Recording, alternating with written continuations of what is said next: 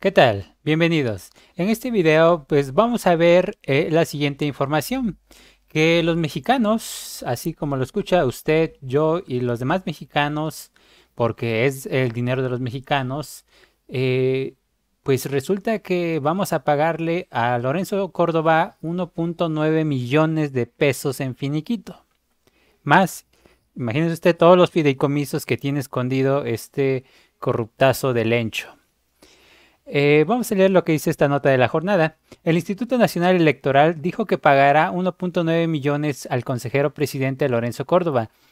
Pues yo creo que aquí deberíamos decir, los mexicanos tenemos que pagar 1.9 millones eh, de pesos al consejero presidente por término de gestión, mientras que los otros tres consejeros que también concluyen el 3 de abril, que ya es pronto, 15 días más o menos, más, recibirán 1.6 millones de pesos cada uno. Imagínense, 1.6 son 4.36 por 3, 18, 4, 18, 4.8 más los dos del Lencho.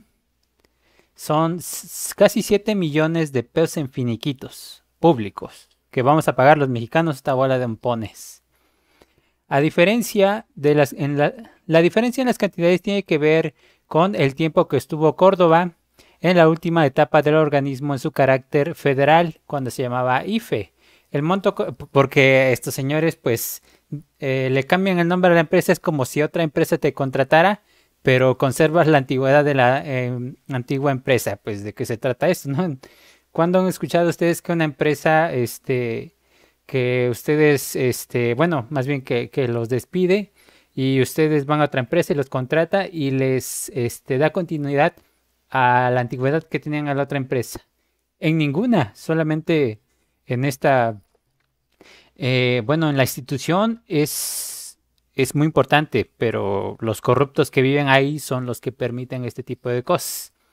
Pero bueno, el monto corresponde a tres meses de salario más 20 días por cada año de servicio. En un comunicado informó lo anterior, aunque no hizo mención al concepto de ahorro del que pone un porcentaje del trabajador y una cantidad igual al INE, porque lo que pasa es que tenían un fondo de ahorro, un fondo de ahorro donde por cada peso que pone que ponen los ampones de los este, consejeros, el INE y los más bien los mexicanos ponemos el otro peso. Es decir, si Lencho se le ocurre meter 100 millones, pues eh, México tiene que pagar los otros 100 millones.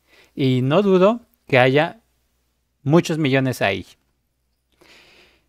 El organismo dijo que por instrucciones del secretario ejecutivo, la directora de administración del instituto dio a conocer los montos a los beneficiarios. Beneficiarios corruptazos, diría yo. El organismo justificó este pago denominado en compensación por terminación de la relación laboral. Pero compensación de qué? Ellos están al servicio del pueblo. Compensación de relación laboral. Les están pagando porque estén ahí y que ni siquiera trabajan todo el año y, todavía reciben una compensación, pues nosotros también queremos saber dónde hay empresas que, que te dan este finiquitos por compensación de la relación laboral. Imagínense ustedes, cuando uno nos corren hasta termina uno mal. En este tipo de compensación es común, es común. De nuevo, ¿a quién le dan una compensación por la eh, por este el término laboral? A nadie. A nadie nos da una, una compensación. Entonces esta bola de hipócritas y cínicos, pues les encanta decir estas cosas. Tanto en el ámbito privado como en la esfera pública. Claro que no, en ninguna de las dos partes. Pues se contemplan como parte de liquidaciones relacionadas con la conclusión y o la separación del trabajador o servidor público según corresponda. No, pues aquí están equivocados. Bueno, si, nos, despiden de una empresa, pues sí nos finiquitan. Pero si nosotros renunciamos, no nos dan ni un solo peso.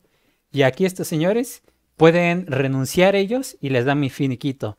O los pueden correr y les dan finiquito. Imagínense, eh, bien se refiere el presidente como la burocracia dorada, porque estos señores los tratan, pero como en charola no de plata, de platino o del metal más este más es caro, ¿no? Precisó que en este concepto está incluido en las condiciones generales de trabajo del INE. pues vámonos a trabajar todos al INE, ¿no?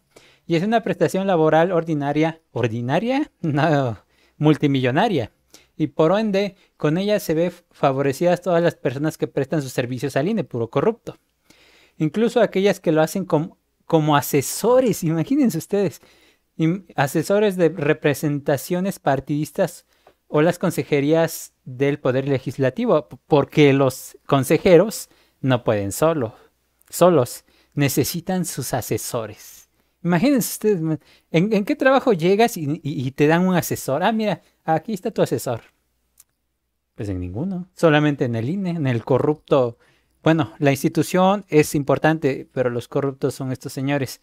El importe está incluido en el artículo 582, fracción 5 del Manual de Normas de Administración en materia de recursos humanos del Instituto. Pues tiene que desaparecer ese artículo. El resultado de aplicar la fórmula del cálculo para la asignación de esta compensación para el periodo que comprende el 4 de abril del 2014 al 3 de abril de 2023, el monto neto de compensación por terminación de la relación laboral asciende a 1.663.388.52 pesos. ¿Compensación? En ningún trabajo privado o público de las empresas privadas o empresas públicas dan compensaciones de ese tamaño. En el caso del consejero presidente aplica el mismo cálculo para los nueve años de su encargo, puntualizó. Mas debe tomarse en cuenta que fue designado consejero electoral del Instituto Federal Electoral el 15 de diciembre del 2011, sin que al término de este, de este cargo percibiera algún monto de compensación por conclusión del mismo. Pues que, que pobrecito, ¿no? Como no le dieron eh, la compensación en el IFE, pues ahora se lo vamos a dar en el INE. Pues de qué se trata esto. Por ello debe considerarse todo el periodo en el que laboró de forma interrumpida. ¿Por qué? Para entonces el IFE y el actual INE, pero si eran, era el IFE y ahora es el INE, ¿por qué deben de considerarle? Esto es ridículo. Así al monto antes mencionado debe sumarse, imagínense, 270.991.76 pesos para un total de 1.934.380.28 pesos el cinismo de estos señores.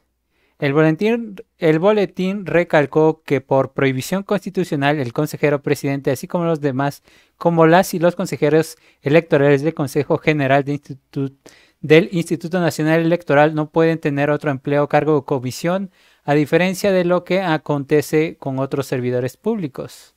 Restricción que ha cumplido puntualmente por las y los consejeros del INE desde el inicio de sus encargos. Esto es una fraude.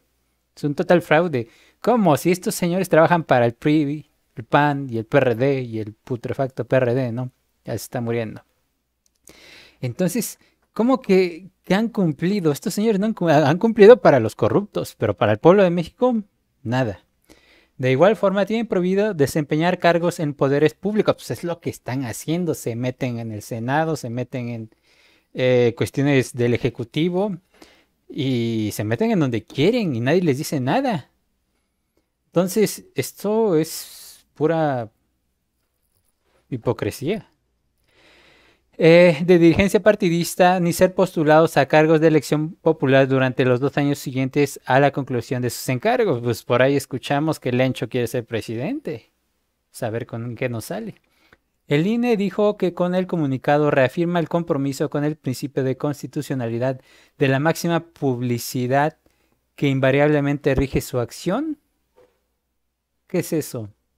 Dijo, el principio constitucional de máxima publicidad. ¿De máxima publicidad? ¿De, qué está hablando?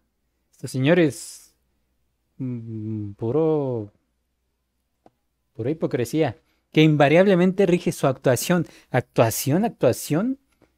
Pero si Lencho es uno de los corruptos, pues así, pues así como ustedes ven. Y este señor es un racista, hipócrita, apátrida, que se tiene que ir. Recordemos, la, institución es muy importante.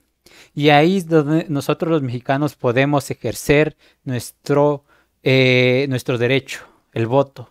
Y recordemos que en la actual transformación es para sacar a toda esta bola de corruptos de esas instituciones. Para eso se tienen que enterrar al PRI, al PAN y al PRD, porque esos señores quieren regresar por sus cargos. Y recordemos que para que se puedan reformar las leyes para poder sacar a estos zampones, tiene que ser en el Congreso, los senadores y los, este, los diputados y los senadores. Entonces es importante nuestro voto y esta institución y sacar a esta bola de corruptos. Bien, esta es la información que le tenemos para que usted conozca cuánto va llevarse este ampón de Lorenzo y nos vemos a la próxima.